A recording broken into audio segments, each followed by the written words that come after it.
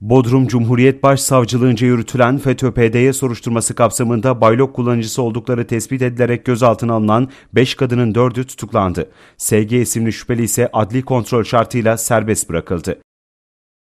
Bodrum merkezi olarak 11 ilde düzenlenen FETÖ-PDY soruşturması kapsamında MGK kararlarıyla geçtiğimiz yıl Temmuz ayında örgütle bağlantısı olduğu gerekçesiyle kapatılan bir okulda çalıştıkları ve baylok kullanıcısı oldukları belirlenen 30 şüpheli için operasyon başlatılmıştı.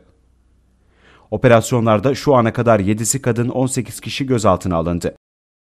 Emniyetteki sorgu işlemleri tamamlanan SY, HC, NG, NŞ ve SG isimli 5 kadın bugün sabah saatlerinde adliyeye sevk edildi. 5 şüphelinin 4'ü tutuklanarak cezaevine gönderildi. Biri %89 özürlü 3 çocuğu olan ve eşi de aynı kapsamda gözaltında olan SG isimli şüpheli ise adli kontrol şartıyla serbest bırakıldı. Soruşturma kapsamında gözaltında olan diğer şahısların ise emniyetteki sorgularının ardından önümüzdeki günlerde adliyeye sevk edilmeleri bekleniyor.